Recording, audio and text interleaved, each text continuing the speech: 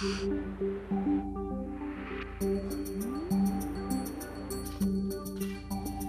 ar, o programa Bom Dia Ministro. Amigos em todo o Brasil, eu sou Kátia Sartori e começa agora mais uma edição do programa Bom Dia Ministro. Esse programa é produzido e coordenado pela co Coordenadoria, ou melhor, pela Secretaria de Comunicação Social da Presidência da República, em parceria com a EBC Serviços. Hoje, aqui nos estúdios da EBC Serviços, com a gente, a ministra da Cultura, Ana de Holanda. Bem-vinda, ministra. Muito obrigada pelo convite, Kátia. Prazer estar aqui. Prazer poder conversar com o Brasil todo, falar um pouco desse mundo da cultura e do Ministério da Cultura. Na pauta do programa de hoje, o Vale Cultura, as praças do PAC e a criação da Secretaria de Economia Criativa. A ministra da Cultura, Ana de Holanda, já está aqui no estúdio e começa a conversar agora com âncoras de emissoras de rádio de todo o país, neste programa que é multimídia. Estamos ao vivo no rádio e na televisão. Ministra, já está na linha a Rádio CBN de Recife, em Pernambuco, onde está Jofre Melo. Bom dia, Jofre. Bom dia, Kátia. Bom dia, ministra. É, hum. Ministra, aqui em Pernambuco nós tivemos a atuação de alguns programas governamentais, como por exemplo o Governo Presente, o Pacto pela Vida, que trabalharam para a redução drástica de violência em bairros mais perigosos, vamos assim dizer. Um deles, por exemplo, o COC, nós tivemos lá, um, foi formada uma orquestra de cidadão, orquestra Meninos do COC, que hoje é um destaque nacional. Um exemplo onde a cultura chegou e resolveu, ou pelo menos ajudou bastante a reduzir o número de criminalidades, além de trazer a opção para os jovens que, Jofre, a partir só agora... um minuto, Jofre, só um minuto, eu gostaria que você aumentasse o seu retorno, a ministra não está conseguindo ouvir, ouvir bem a sua pergunta. Ah, é, é, tá, tá me ouvindo agora? Tá melhor agora, obrigada. Ok. Então, fazendo, refazendo a pergunta, eu falava aqui a ministra que, que em Pernambuco nós tivemos algumas ações através da cultura que conseguiram reduzir bastante os índices de criminalidade em alguns bairros mais perigosos, vamos assim dizer. Um deles, por exemplo, o COC, através da, da, da Orquestra Cidadã, Orquestra Meninos, Meninos do COC, que foi inclusive ovacionada pelo presidente Lula e é hoje um destaque nacional, através da cultura, conseguiu dar opção para que jovens e adolescentes não entrassem na criminalidade. Mas o maior investimento que é feito lá é através de organizações não governamentais. Eu perguntaria à ministra se através do, do PAC ou de algum, de algum outro programa existe algum, algum investimento da parte de cultura para que possa reduzir a violência em bairros e cidades ou locais perigosos do país. Muito bom dia, Jofre. Bom dia, Recife. Bom dia, Pernambuco. Rádio CBN de Recife. Olha, esse, nós temos várias eh, frentes é, com, essa, com esse foco de diminuir a violência, a inserção da sociedade dos jovens. Né? É, o PAC é uma das formas, quer dizer, nós estamos abrindo amanhã para as prefeituras o projeto, o PAC 2, que agora vai abrir com as praças do PAC, que vai, vão estar em regiões de alta densidade demográfica, de, de baixa eh, renda e alta vulnerabilidade também.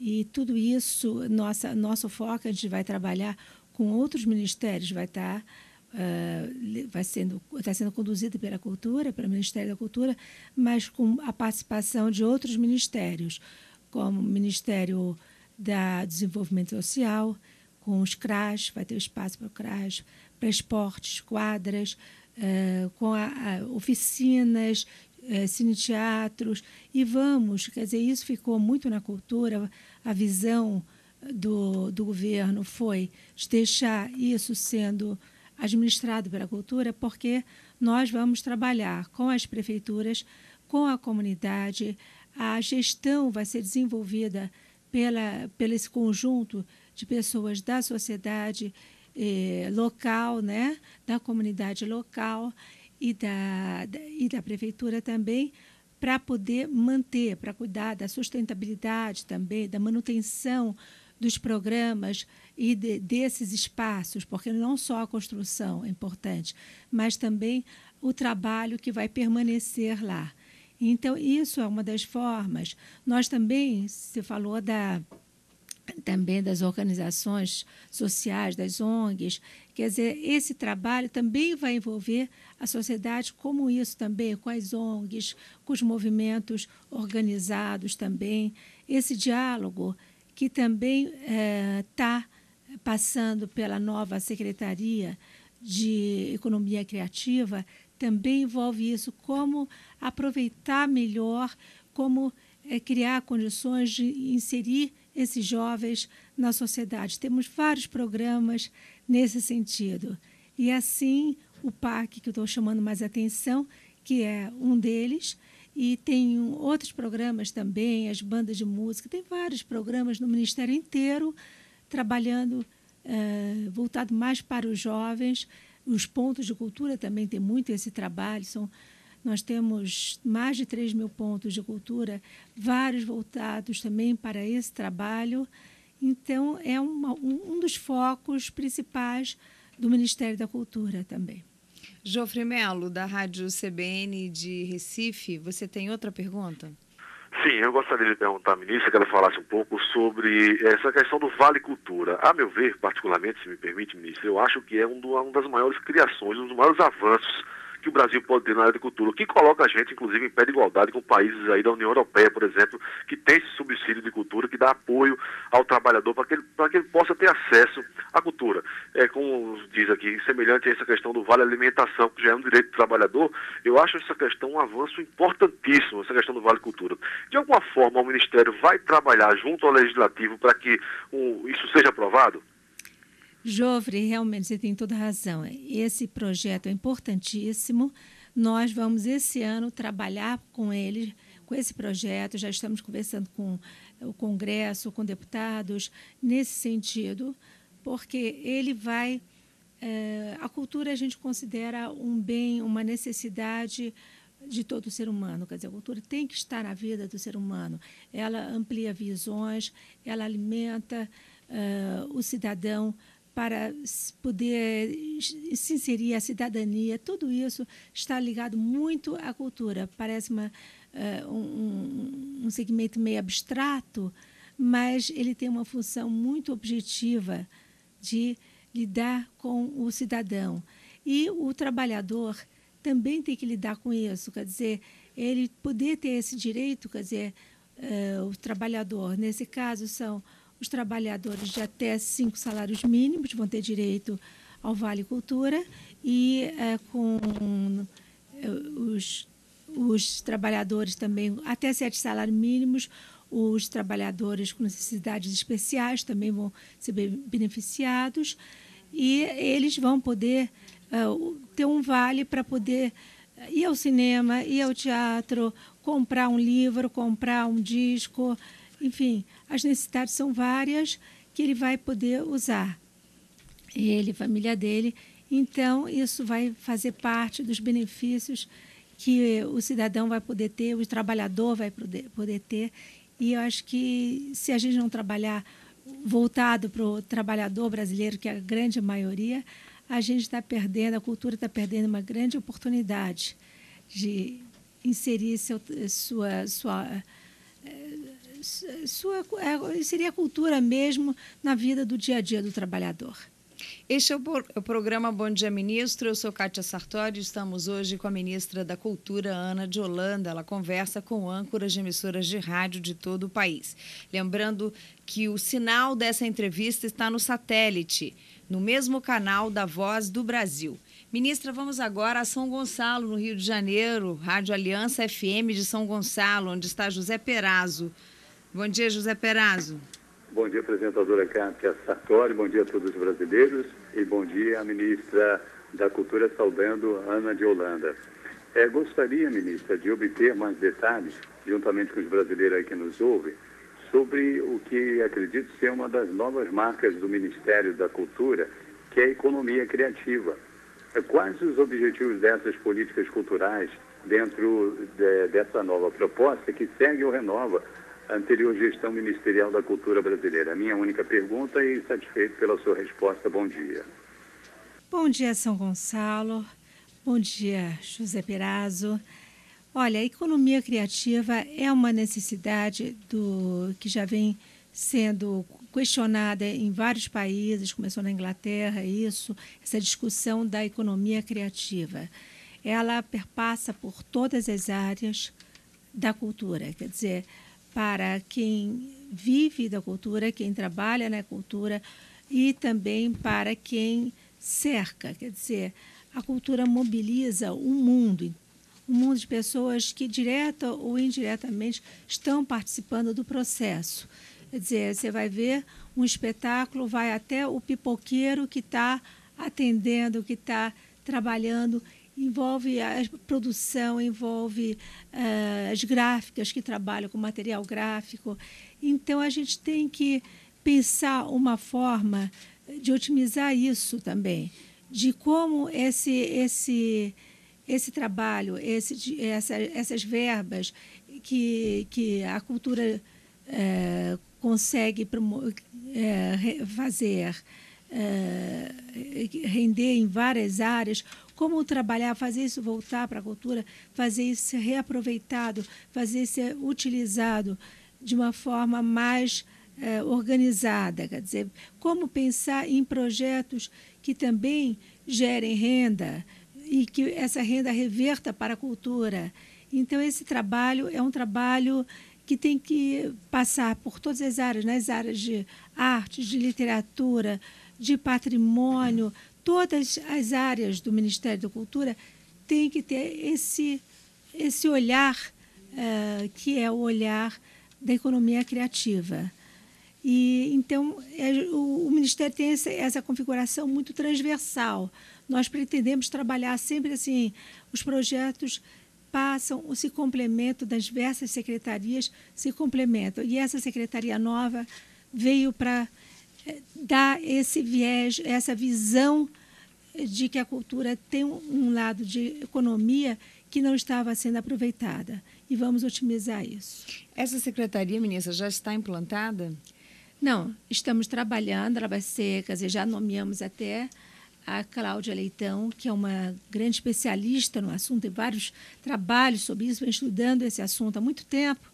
Ela é do Ceará, ela está vindo, é, está vindo para cá, vai, estamos agora, tudo isso vai ser mandado para o Ministério do Planejamento, qualquer mudança no Ministério a gente tem que aprovar no Ministério do Planejamento, já, mas já está tudo conversado então, vai haver essa mudança em breve. Essa nomeação, essa, a posse dela vai ser em breve. Tá certo. Ministra, vamos agora conversar com a Rádio Veneza FM de Caxias, no Maranhão. A pergunta é de Arailton Santana. Bom dia, Arailton. Bom dia. Arailton, é, bom dia, você pode aumentar o seu retorno, por favor? Arailton? Bom. A gente está improvisando aqui, mas está dando para ouvir? Agora está melhorando. Alô, está dando para ouvir? Sim. Bom, ministra, Caxias do Maranhão, que é uma cidade de 180 mil habitantes, nós queremos saber se. É, nós gostaríamos de saber, ministra, Caxias do Maranhão, que é uma cidade de 180 mil habitantes, que para participar é, desse programa, projeto Faustano está fazendo, quais são os critérios de contrapartida que. Como participar dos programas, é isso? Está tá sumindo a sua voz, uh, Arailton. Daqui a pouco a gente tenta um novo contato com Arailton Caso Santana, da Rádio Veneza FM de Caxias, no Maranhão. Vamos agora falar com Goiânia ou é Rio agora, gente? Goiânia, Rádio Jornal 820 AM de Goiânia, em Goiás. Kite Oliveira, bom dia. Bom dia, Kátia. Bom dia, ministra. Ministra, a ideia das praças do PAC. É, nosso estado, Goiás, é, é, muito carente em relação a espaços culturais, a espaços de lazer. E eu, particularmente, acho um programa muito ousado né, para todo o Brasil é algo, inclusive, que o Brasil já precisava para promover a cultura, a lazer a pessoas mais carentes. Mas como o governo federal vai gerir e garantir que essa estrutura, no futuro, não seja utilizada para outros fins, né? E promover realmente a cultura nesses lugares? Bom dia, Kit Oliveira. Uh, bom dia, Goiás, Goiânia. Olha, esse trabalho de praças do parque, é justamente como eu já tinha falado no início, é, um, é sempre um trabalho novo. A gente vai chegar, construir eh, junto com a prefeitura, vamos orientar as prefeituras, conseguimos a verba, passa, passa pela Caixa Econômica, vamos oferecer o projeto, vamos, é, vamos a, a, viabilizar isso junto com a prefeitura, junto com os arquitetos da prefeitura. Temos projetos. Eu vou até aproveitar para uh, para informar que nós estamos uh, a partir de amanhã, amanhã, sexta-feira, uh, vamos vai estar no site está aqui www.pracasdopac, numa palavra só, .gov.br. Vai estar disponibilizado lá o manual, o manual do projeto técnico. Lá vocês vão poder, as prefeituras vão poder se informar, conhecer melhor as possibilidades, a documentação necessária, tudo isso vai ser trabalhado. Agora, claro, a manutenção dessas quer dizer, a gente não vai só chegar e construir, a gente vai equipar também essas praças com equipamentos de, de teatro, biblioteca, computadores. Uh, vamos trabalhar no sentido de deixar esse, esse, esse equipamento pronto para ser usado. Nós vamos também, a partir imediatamente, no começo, também trabalhar nas cidades com a sociedade local, quer dizer, vai estar em zona de alta densidade demográfica, temos que conversar com as comunidades para que elas também eh, se apoderem desse espaço, quer dizer, vão ter lá também outros segmentos, não só voltados para a cultura, mas, por exemplo, os centros de, de referência de, do, dos CRAS, de assistência social, assistência social para atender a comunidade, os espaços multiusos, que a própria comunidade vai definir o uso delas. Enfim, pode se desenvolver mil atividades com que a, a comunidade costuma trabalhar, seja de repente cursos de corte e costura, cursos de pintura, trabalho com as crianças. Agora, tudo isso nós estamos, vamos começar a fazer um trabalho junto com a comunidade, junto com a prefeitura, e depois essa gestão vai ser feita por esse conjunto, quer dizer, vai ter um grupo que vai ser uh, vai, vão, vão, da comunidade, da prefeitura, da sociedade, da, da, se tiver ONGs e tiver também outras organizações que trabalhem nessa região, para que eles mantenham o trabalho vivo lá e que essa, isso não se perca. Quer dizer, nós vamos estar acompanhando não só a implantação, como a manutenção. Eu acho que, inclusive, isso foi uma das razões pela qual uh, o Ministério da Cultura foi escolhido, justamente para ele poder fazer a manutenção, a continuidade desse trabalho. Ministra, a gente sabe que vão ser, vai ser um total de 800 praças. Mas a iniciativa tem que partir de quem? Da prefeitura buscando junto ao Ministério? Sim. as primeiras 400 já foram escolhidas.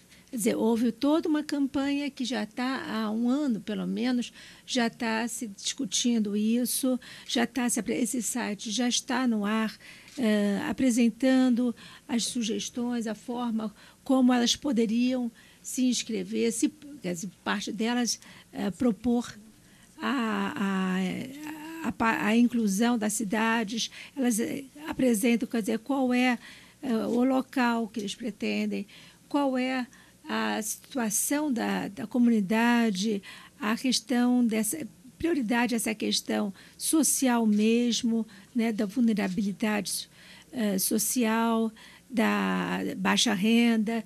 Então, é, isso foi o que várias propostas, o pessoal respondeu a questionários para poder se escolher quais eram as regiões essenciais, prioritárias, pelo menos, para a escolha dessas cidades. Daí já foram selecionadas 400, né? Em 320 e poucos É, 300, 362 municípios, quer dizer, alguns municípios grandes nas periferias e tal, cidades Ganharam grandes, mais ganharam mais de uma. Tá certo. Então, isso já foi feito. Agora, vamos dizer, a partir do fim desse ano, acredito, já estejam abertas para as inscrições das outras 400. Então, o pessoal tem que ficar, as cidades têm que ficar alertas para poder se inscrever nesse projeto. Tá certo. Este é o programa Bom Dia Ministro. Eu sou Kátia Sartori, a nossa convidada de hoje, a ministra da Cultura, Ana de Holanda, que conversa com âncoras de emissoras de rádio de todo o país. Lembrando que o áudio dessa entrevista está ainda hoje pela manhã na internet, no site da Presidência da República, na Secretaria de Imprensa da Presidência da República. Anote o endereço www.imprensa.planalto.gov.br. Ministra, vamos agora mais uma vez tentar falar com a Rádio Veneza FM de Caxias, no Maranhão. Arailton Santana, bom dia. Arailton? É, não foi possível. Daqui a pouco a gente tenta mais uma vez falar com a Arailton lá de, da Rádio Veneza. Vamos então a São Paulo falar com a Rádio Paraisópolis. A pergunta é de Gilson Rodrigues. Bom dia, Gilson. Bom dia, bom dia a todos, bom dia, ministra. É um, poder, é um prazer poder participar desse programa. Acho que essa iniciativa é excelente, dá voz à comunidade, acho que esse papel que as rádios comunitárias vêm é, cumprir. A minha pergunta é sobre as praças do parque, né? Que é uma iniciativa importante para levar cultura aos locais é, menos desfavorecidos, necessitados de acesso à produção e consumo de bens culturais. Paraisópolis passa também por um programa de urbanização, um processo mudando a realidade da comunidade, trazendo mais cidadania à nossa população. Agora a gente está buscando um hospital melhorar acesso à cultura. Para contribuir para esse importante processo que nós estamos passando, de que podemos trazer uma praça do parque para a comunidade de Paraisópolis e para outras comunidades? Que iniciativas devem ser tomadas para que a gente possa ter acesso a essa ação tão importante?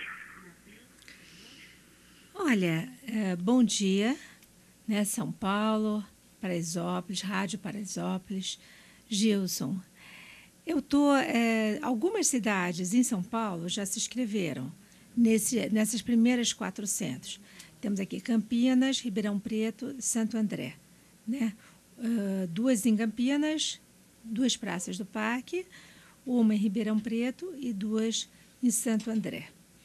Esse, essas são as primeiras, quer dizer, das 400 que estão selecionadas nessa primeira fase, nesses dois primeiros anos, que a gente vai trabalhar dos 200 nesse ano, 200 no ano que vem, quer dizer, a implantação, a construção e tal. E vamos, a partir do fim desse ano, uh, já nos preparar para as, as próximas 400. Né? Então, o que eu sugiro é que uh, façam um estudo aí em Paraisópolis, é uma região que também que pelo que eu conheço atende um pouco esse, essa essa característica que as praças estão buscando, né? E uh, se informem através do site, né? pracasdoparque.gov.br, para que também possam vir a, a receber também essa, essa praça, porque eu acho que não, não dá para a gente, no, no primeiro momento, agora já estamos fechadas nas primeiras, já estamos, fechamos as primeiras 400, né? mas vão ter mais 400. Gilson, você tem outra pergunta? Projeto? Gilson? Oi? Você tem outra pergunta? Eu tenho. É, a, geralmente nas comunidades existe uma série de iniciativas culturais é, de, diferentes no, no, no, no, geral da cidade, né? Por exemplo, aqui em Paraisópolis tem uma ação, tem uma casa de pedra, que é do Estevão Conceição, que é a casa conhecida como Gaudí de Paraisópolis, que é um, um, um, um castelo parecido com o trabalho do Antônio Gaudí da Barcelona. E aí existem outras iniciativas, como do Berbela, como da, da Casa de, de, de Pet, entre outras, e nas comunidades geralmente você sempre acha um ponto em que as pessoas costumam ir para poder visitar. De que forma o Ministério pensa é, em criar uma ação para poder apoiar e potencializar essas ações dentro das próprias comunidades? Ah, tá. Aí já tem é, uma outra característica que é, nós, é, de uma certa forma, está mais próximo dos pontos de cultura, né? Ponto de cultura já trabalha com as comunidades existentes que já desenvolvem um trabalho e que, pelo que você descreveu, é mais ou menos isso, né? Que tem uma presença na comunidade e que já estão organizadas. Um trabalho na área cultural.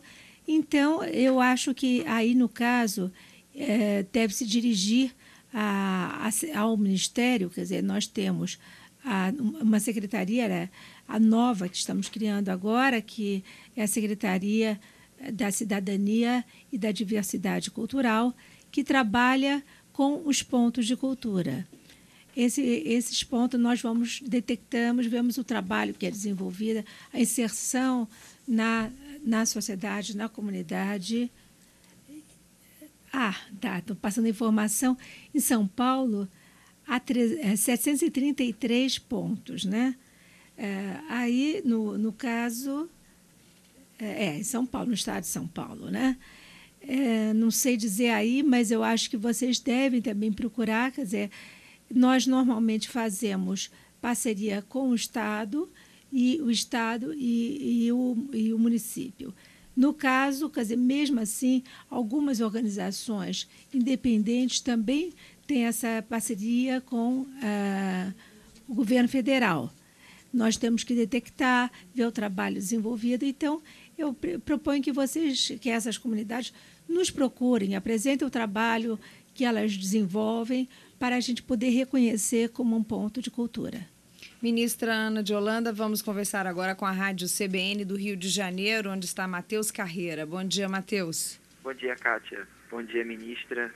É, ministra, minha pergunta é sobre o preço da cultura no Brasil. O acesso aos bens culturais ainda é muito caro. Não só o preço né, de livros, CDs, mas também os ingressos de cinema e outros espetáculos vêm subindo cada vez mais. Ao invés de criar o Vale Cultura, não seria muito mais eficiente o Ministério trabalhar no sentido de diminuir os custos dos bens culturais para o consumidor, ou mesmo ampliar os pontos de cultura, levar para as comunidades mais pobres bibliotecas, cinemas isso não teria um efeito mais duradouro?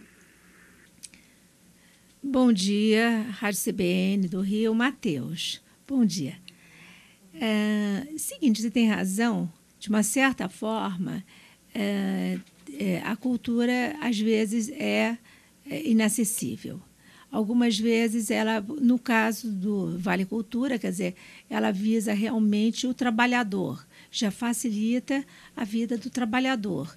Agora, temos vários projetos, inclusive uh, os projetos uh, que estão na Lei Rouanet e que nós tentamos, estamos também com o projeto da nova Lei Rouanet, uh, que é o Procultura, eles também pedem um pouco, eles também pedem essa contrapartida no valor dos ingressos, no valor, quer dizer, tem que ter uma contrapartida social, uma contrapartida. Né? As pessoas são beneficiadas, quer dizer, os proponentes são beneficiados com um, um dinheiro que vem da, da isenção fiscal, mas eles têm que apresentar essa contrapartida. Ah, aqui vem a informação. Ah, ah, é, também. Teve uma redução dos impostos dos livros em 2004. Quer dizer, isso já gerou uma pequena queda de 3 a 7% no valor do livro.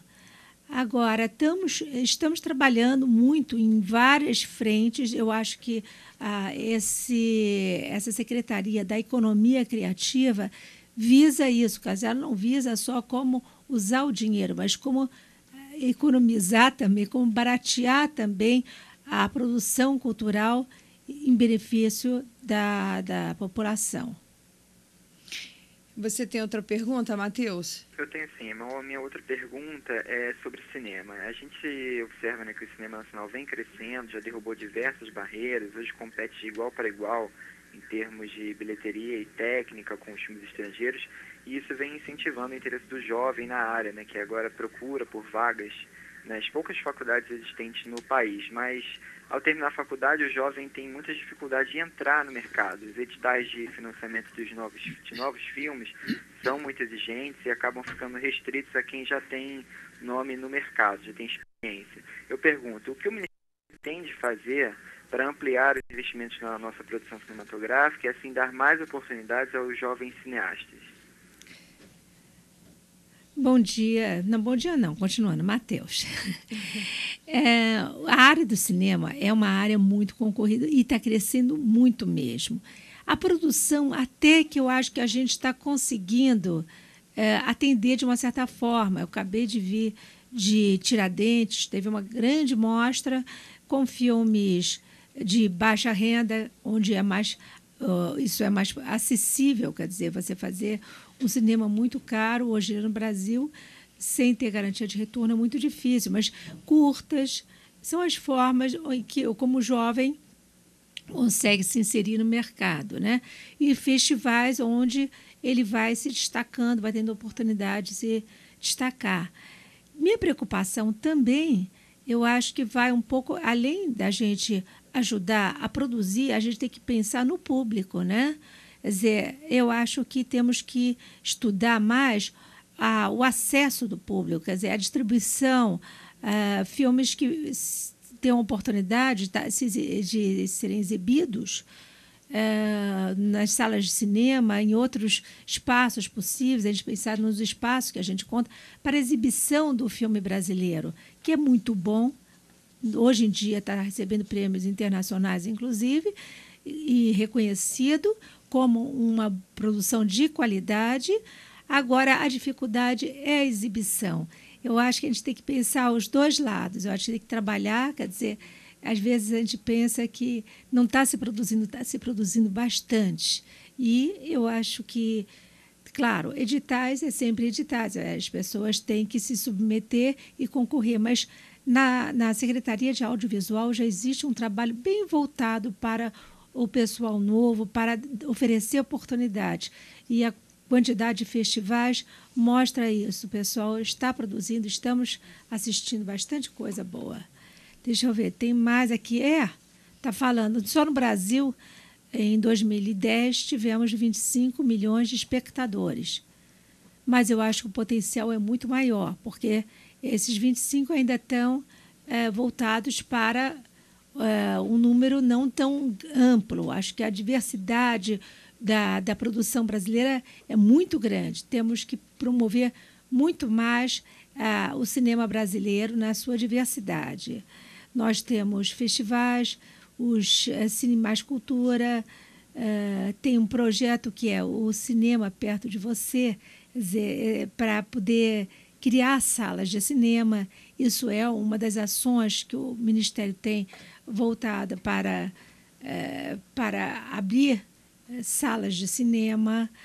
Nós temos, enfim, é, né, nos municípios, com uma, pelo menos com 100 mil habitantes, nós temos esse projeto. Temos equipamentos também. A Secretaria de Audiovisual dá também um kit também para, para os espaços culturais receberem também, poderem montar seu cinema. Enfim, temos algumas ações bastante voltadas para o cinema. E acho que a gente vai melhorando aos poucos mesmo. Ministra, vamos agora à Rádio ABC 1570 AM de Santo André, em São Paulo. Tiago Oliveira, bom dia. Olá, bom dia. Bom dia, ministra. Ministra, a ida ao teatro ainda é vista como uma atividade de elite no Brasil, em parte por causa dos preços dos espetáculos que não são acessíveis à maioria da população. O Ministério da Cultura prevê algum tipo de incentivo específico para o teatro e para que mais pessoas tenham acesso a essa atividade? E aproveito para elaborar uma outra questão. O problema é somente o preço ou é o teatro realmente que não faz parte da cultura do brasileiro? Bom dia. Santo André, bom dia, Rádio ABC, bom dia, Tiago. O teatro é, realmente está caindo um pouco é, no desuso da população média brasileira. Agora, existe realmente um trabalho que a gente tem que pensar, quer dizer, por que isso está acontecendo? Se todos os, as, todos os cantos, as periferias, uh, existe a vontade de estudar teatro. Se existe salinhas onde o pessoal faz grupo de teatro amador. Quer dizer, isso existe no Brasil inteiro em grande quantidade. A gente fala no teatro, às vezes o teatro o clássico, o, divulgado em grandes cartazes, com atores globais. Aí esse teatro fica está um pouco caro. Aí talvez o Vale Cultura possa ajudar. Quando eles estão recebendo um financiamento pelas leis de incentivo fiscal, de eh, incentivo fiscal, a gente também trabalha para baratear ou para criar também alguns dias para estudantes, para promover o acesso também ao teatro. Agora, existem vários prêmios que a Funarte, agora o, a área do teatro está dentro da Funarte, que é uma das vinculadas do Ministério da Cultura. Então, eh, a Funarte está se preparando.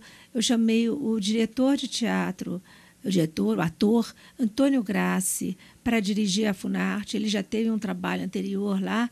Ele conhece mais, como pouca gente, essa área do teatro profissional, amador e do, das várias formas que se faz teatro no Brasil inteiro.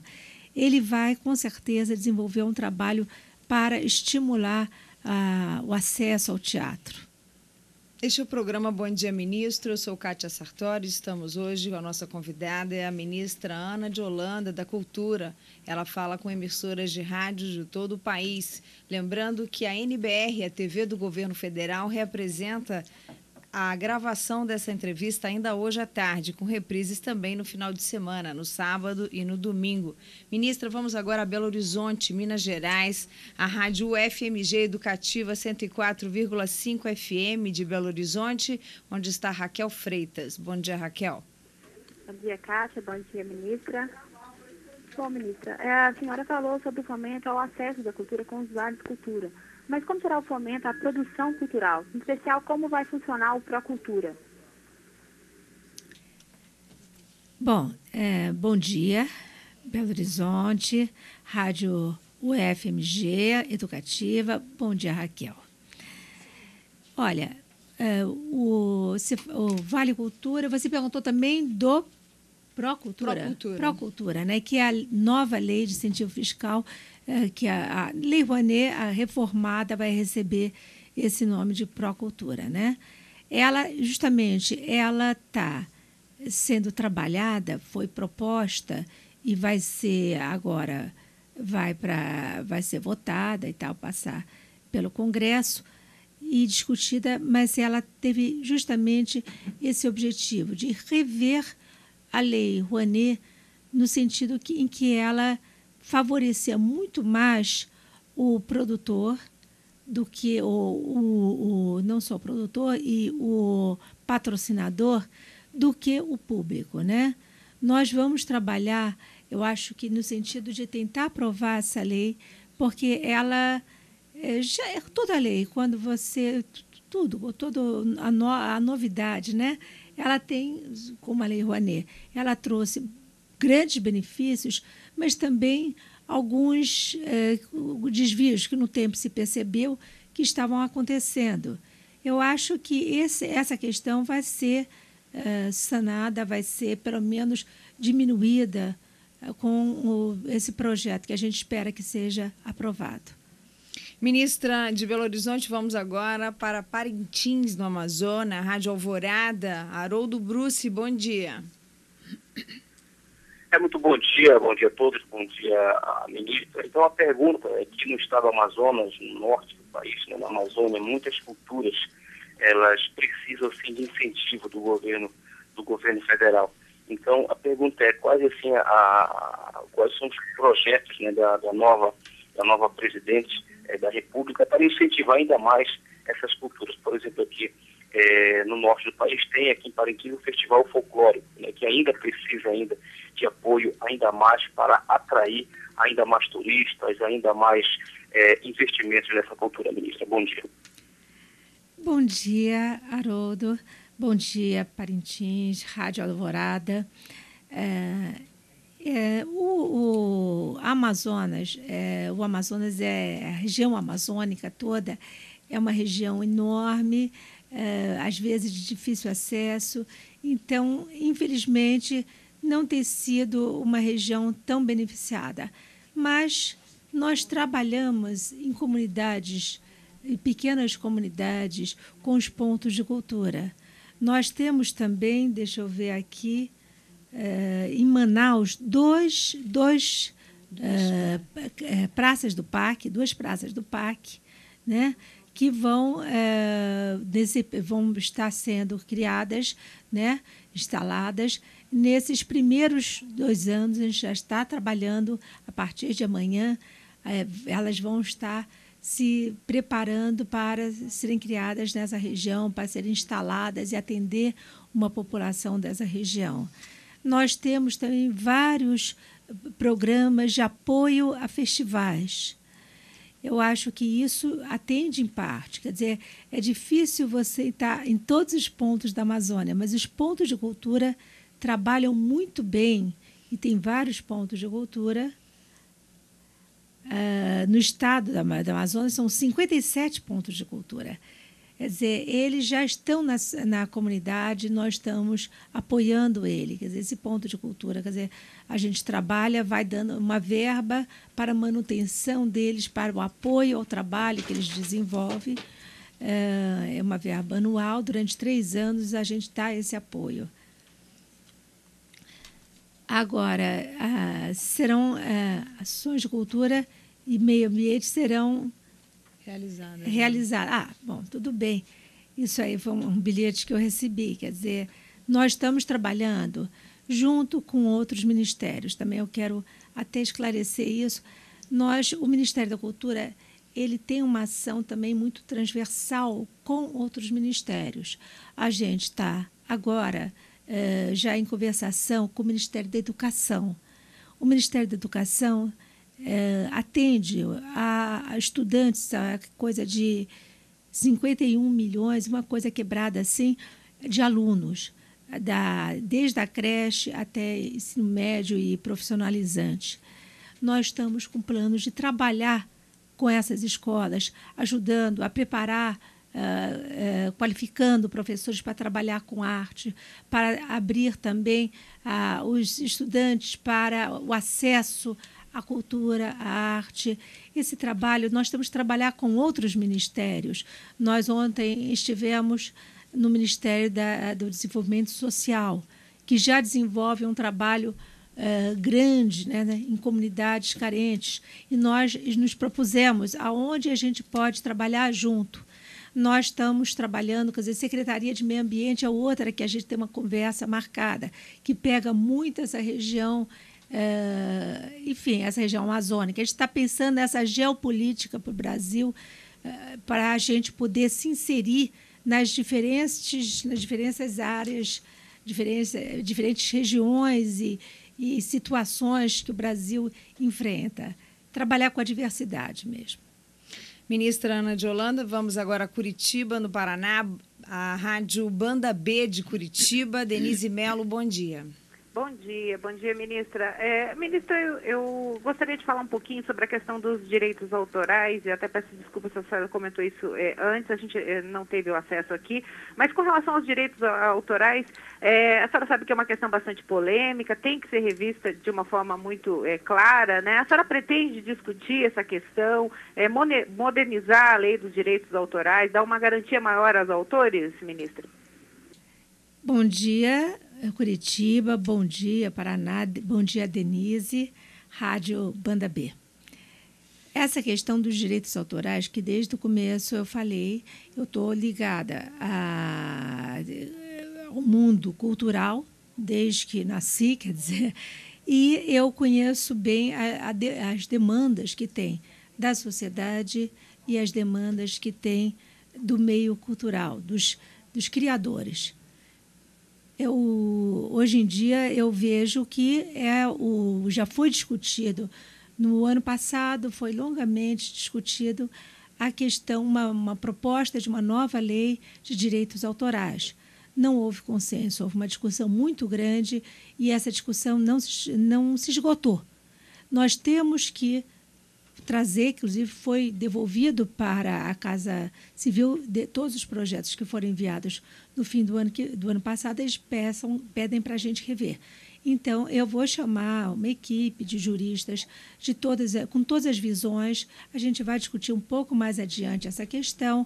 A gente vai discutir com a sociedade para ver qual a forma de atender a sociedade, mas preservar os direitos do criador. Este é o programa Bom Dia Ministro. Eu sou Kátia Sartori, a nossa convidada, a ministra Ana de Holanda da Cultura, que conversa com âncoras de emissoras de rádio de todo o país neste programa que é multimídia. Estamos no rádio e na televisão. Ministra, vamos agora conversar com Salvador, Bahia, Rádio Educadora 107,5 FM de Salvador, onde está Sueli Diniz. Bom dia, Sueli. Bom dia, Kátia Santoro. Bom dia, ministra. É um prazer estar falando com vocês e a Rádio Educadora deseja todo sucesso para a nossa ministra Ana de Holanda. Ministra, nós queríamos saber se dentro desse projeto de implementação das praças do PAC, Salvador e a Bahia, de uma forma geral, também vai ser é, beneficiada com esses projetos e queríamos saber também a respeito do, do, nosso, da nossa campanha, porque em Salvador nós estamos fazendo uma campanha através da Rádio Educadora da Bahia, em parceria com o Ministério Público, pela consolidação dos nomes dos autores das composições nas rádios, porque no nosso, nosso estado existe esse hábito de não divulgar o nome dos compositores. Então eu queria saber também como é que está esse projeto né, de direito autoral. Bom dia, Salvador. Bom dia, Rádio Educadora. Bom dia, Sueli.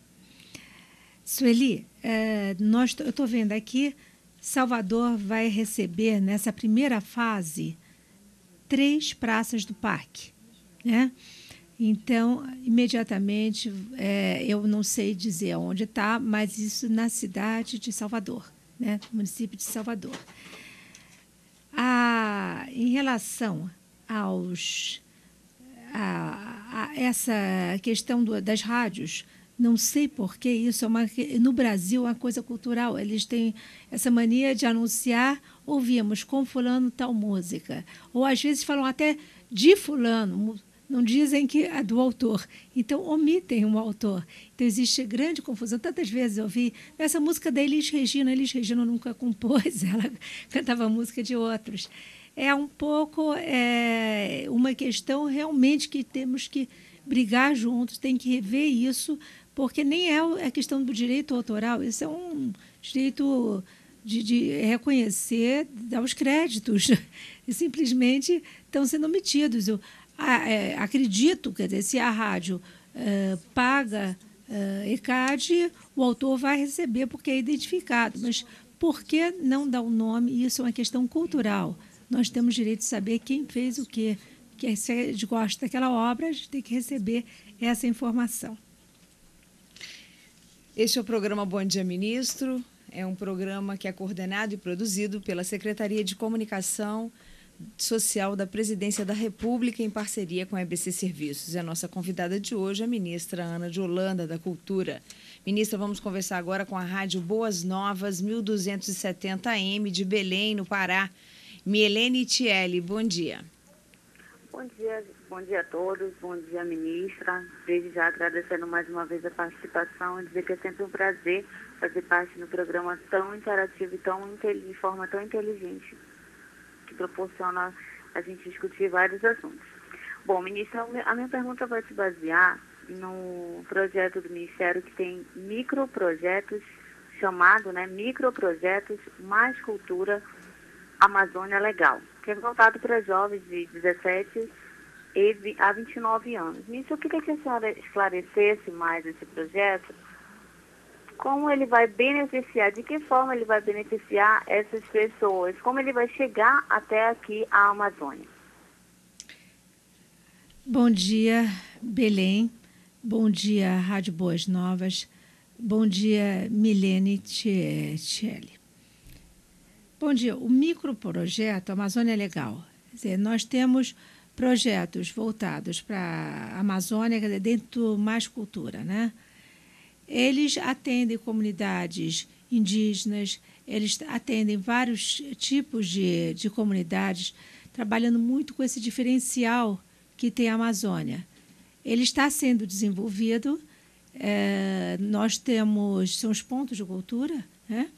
E eles, é, nós estamos acompanhando. Gostaria de saber qual é a dúvida que tem em relação a esses projetos. Milene? É, na verdade, a gente gostaria de esclarecer melhor de que forma ele vai chegar aqui na região, entendeu? Como esses jovens aqui, eles vão participar disso e o que isso vai trazer para essas pessoas. Olha, eu não sei agora dizer exatamente o trabalho, quer dizer, ele está sendo desenvolvido, isso é na Secretaria de Cidadania de articulação também está trabalhando isso, a articulação institucional, quer dizer, existe essa, esse lado transversal da, das secretarias, e eu, eu gostaria até que você é, apresentasse, nos enviasse, uh, talvez agora, eu não tenho essa informação aqui na mão, e nos enviasse para o Ministério da Cultura qual a questão, quer dizer, exatamente que você, quer dizer, o que, que você espera, o que, que vocês estão sentindo que ainda não chegou aí dentro desse projeto. Quer dizer, nós estamos abertos para discutir. Quer dizer, não está muito claro ainda para mim como a gente pode, qual é a demanda de vocês, tá? Mas esse projeto existe vamos trabalhar com ele. Só acrescentando, ministra, no www.cultura.gov.br é, e também no maiscultura.gov.br e também em www.funarte.gov.br, viu? É, tem mais informações, viu, Melene Tielli? Ministra, vamos agora a Campo Grande, Mato Grosso do Sul, conversar com a Rádio Educativa FM 104, onde está Joel Silva. Bom dia, Joel. Bom dia, bom dia aos amigos aí do Bom Dia Ministro. Hoje, bom dia, ministra, né? Um abraço especial aí à nossa ministra da Cultura, Ana de Holanda. A nossa, em primeiro lugar, um abraço aqui de todo o Mato Grosso do Sul, né, nesse programa tão interativo, e a gente tem a primeira, primeira oportunidade de participar aí do programa Bom Dia Ministro. A pergunta seria a seguinte: o Vale Cultura realmente é algo que enche de esperança de uma grande parcela da população que precisa ter acesso à cultura de um modo geral. A pergunta é: num país de dimensões continentais como é o nosso, esse valor de 50 reais não deveria ser de acordo com a localidade? Já emendando na pergunta aí, não seria um valor considerado baixo, levando-se em conta que uma peça de teatro, pelo menos aqui no Mato Grosso do Sul, chega a custar 80, 100 reais, e às vezes um único CD tem um valor aí de 30 reais. Certo. É, a gente não pode atender, no primeiro momento, quer dizer, esse Vale Cultura vai atender uma população enorme de trabalhadores, uma quantidade enorme de trabalhadores. Nós entendemos que se é, o, houver um desconto maior também, porque isso também passa pelo salário trabalhador, assim como vale alimentação e vale, enfim, vai transporte. É, nós não podemos oferecer muito além do que, quer dizer, se ele começar a consumir cultura, isso vai ser importante, quer dizer, esses 50 reais por mês, já você não vai comprar, não precisa comprar muitos discos, não precisa ir a muitos, você pode até ter ele e se quiser assistir uma peça de 80 reais, é, você completa com 30 reais. Agora, não é toda. Algumas peças chegam a custar 80 reais. Geralmente já tem dias promocionais. Existem outras formas também de você buscar.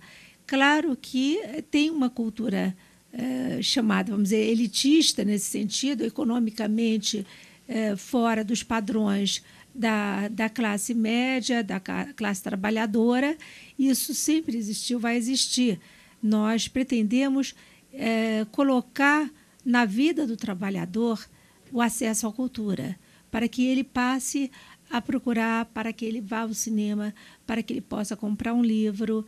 Esse valor é possível você ir ao cinema, assistir um, um, mais de um filme por mês, pelo menos dois filmes por mês, pagando uma inteira.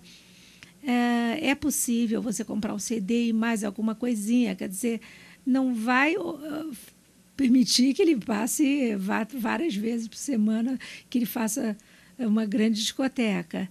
Mas que ele tenha acesso à cultura permite. Você tem outra pergunta, Joel? Pois é, a nossa, a nossa 104 FM aqui é uma rádio também ligada ao governo estadual, uma rádio, uma emissora pública ligada ao governo estadual. E o que a gente percebe sempre é que nesse período de transição de governo, ainda que, que sem traumas, é de uma mudança mais radical, é natural que as coisas estejam mais estacionadas, vamos dizer assim, com relação à mudança de pessoal, ajuste da equipe. Afinal de contas, cada ministro, cada ministério, cada secretaria tem, uma, tem pessoas de confiança titular da pasta. Agora, a pergunta em cima disso é quando é que o sistema financeiro da cultura volta a funcionar efetivamente? Sim? Quando é que a gente pode dizer que a máquina financeira do, do sistema da, da, cultura volta a andar nos trilhos? Olha, todo ano tem um pouco, uh, tem, uh, o dinheiro não é liberado no primeiro mês, né? Nós temos já um orçamento aprovado, coisa de 2 milhões. Agora, o quanto vai ser liberado financeiramente, nós vamos saber provavelmente em começo de março. Então, o que está sendo liberado até agora é manutenção e custeio. É uma pequena parcela para que a, não pare tudo. Né? Nós podemos eh, dar algumas, alguns socorros, socorros na, em algumas situações emergenciais, por exemplo. Uh, agora há pouco, uma chuva, essa, nesse período de chuvas é, torrenciais aí que tivemos, não no Rio de Janeiro, mas em Goiás, é, Goiás Velho sofreu muito, uma cidade tombada, patrimônio da humanidade. Nós conseguimos destacar uma verba de 500 mil para poder escorar as casas, para impedir que acontecesse o desastre que aconteceu há 10 anos atrás, né? Quando foi até a casa de Cora, Coralina, um patrimônio maravilhoso que tem lá, que a cidade toda é um verdadeiro cenário né, do século XVIII. Isso foi muito prejudicado. Nesse caso, a gente conseguiu, com essa pequena verba que a gente tinha, a gente conseguiu socorrer. Agora, vamos continuar uh, com as nossas ações. Nós estamos esperando essa verba ser liberada, e isso faz parte de todos os governos estaduais, municipais e federal também faz é uma contingência natural do sistema. Tá? Ministra, infelizmente o nosso tempo está no fim, nós agora já estamos terminando o programa. Eu queria agradecer muito a presença da senhora no Bom Dia Ministro. Eu te agradeço muito, Kátia. Foi um prazer estar aqui, foi um prazer poder conversar com o Brasil inteiro, saber as demandas, saber as preocupações. Isso, inclusive, nos norteia um pouquinho na, nas nossas ações. Obrigada a todos que enviaram as perguntas. Espero ter atendido, esclarecido o que foi, for possível. É, lembrando sempre que estamos abertos para qualquer. É, nos mande e-mails, nos, nos procure com propostas, com sugestões, que estamos abertos. Espero ter esclarecido aos ouvintes também. E eu agradeço muito essa oportunidade de estar aqui conversando com vocês. Obrigada, ministra, e a todos que participaram conosco desse programa. O meu muito obrigada e até a próxima edição.